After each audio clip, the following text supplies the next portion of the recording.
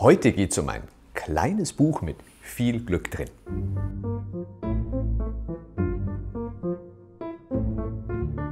Der 62-jährige Heinrich Bedford Strom ist Landesbischof der evangelisch-lutherischen Kirche in Bayern und war lange Zeit Theologieprofessor.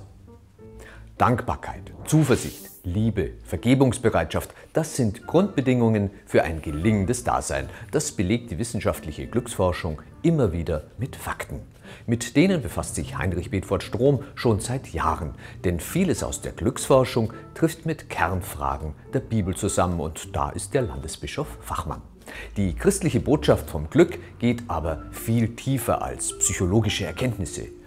Glück im umfassenden Sinne heißt eben in guten wie in schweren Tagen sich getragen und geborgen fühlen zu dürfen, schreibt der Theologe Bedford Strom.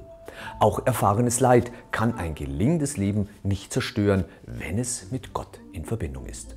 Darum hat sich der Landesbischof bewusst für das etwas altmodisch klingende Wort Frömmigkeit im Titel entschieden.